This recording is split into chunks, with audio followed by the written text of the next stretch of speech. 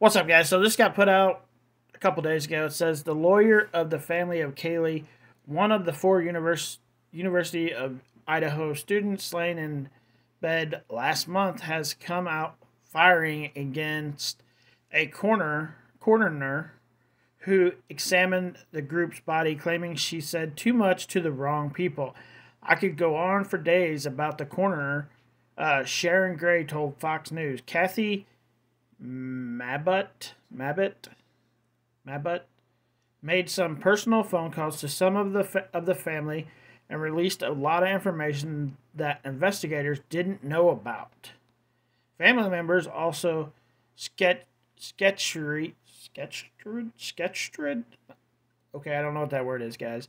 Claiming she's trying to do cops' jobs for them while releasing too much to the public. Steve, uh, Steve Kaylee's dad said, "My butt, my butt." I'm I'm sure I'm saying that wrong.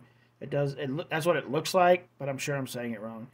Embellished a bunch of stuff like her own hip hypocrisy, sees hypocrisies of what happened and her theory of things. He also accused my butt of releasing an inappropriate amount of information to him like the specific injuries of the other slain students.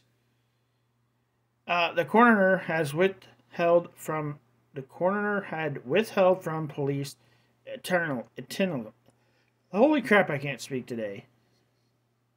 Intentionally, Cathy made some personal phone calls to some of the families and released a lot of information that investigators didn't know about. The father told Fox News the family comment reportedly came after a meeting with police to mend, mend a relationship that was growing increasingly strained with Goncalves, Goncalves calling cops cowards earlier this week. So I I don't blame this dad for being pissed. Like this dad's been the only person that's really tried to find anything out in this case, so I don't blame this guy for being fucking pissed. I totally understand him being pissed. It's this shit's getting old. It's getting old. And and I totally understand it 100%.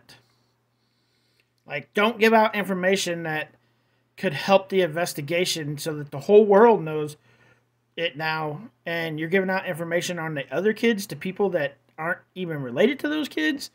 Like I can understand you telling Kaylee's family about her, but why would you tell the other families about the other kids? Like that doesn't make any sense.